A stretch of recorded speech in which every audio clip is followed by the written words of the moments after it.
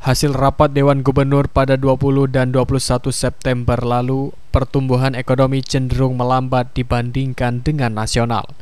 Hal ini berdasarkan hasil asesmen terhadap kondisi perekonomian dan outlook kebijakan moneter. Kemudian stabilitas sistem keuangan serta sistem pembayaran dan pengelolaan uang rupiah. Progres pertumbuhan ekonomi Bengkulu tersebut dipaparkan Bank Indonesia Perwakilan Bengkulu dalam press conference Jumat pagi di kantor perwakilan Bank Indonesia Bengkulu.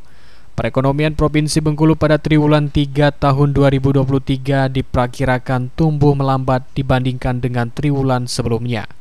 Melambatnya pertumbuhan ekonomi di triwulan 3 dipicu oleh naiknya tarif BBM non-subsidi, masuknya fase El Nino, naiknya tarif angkutan laut, dan normalisasi permintaan masyarakat pasca Hari Besar Keagamaan Negara atau HBKN Idul Adha dan liburan sekolah.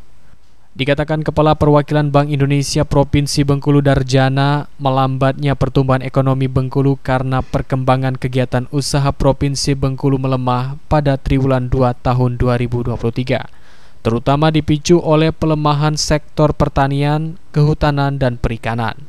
Namun diklaim secara umum relatif baik dengan terus berupaya menjaga stabilitas. Selain itu, penurunan juga terjadi pada tekanan harga jual di triwulan 2.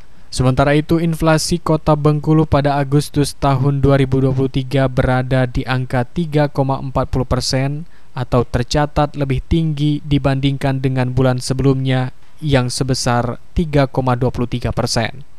Tekanan inflasi secara tahun ini meningkat dipicu oleh peningkatan inflasi pada beberapa komoditas, yakni pada komoditas beras, rokok filter, dan beras.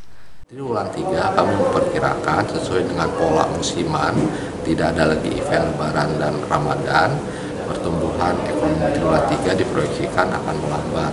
Artinya tetap tumbuh positif, tapi angka pertumbuhan secara tahunannya lebih rendah daripada triwulan 2 karena tidak ada kegiatan serupa seperti Dian Maya Erika, RBTV, melaporkan.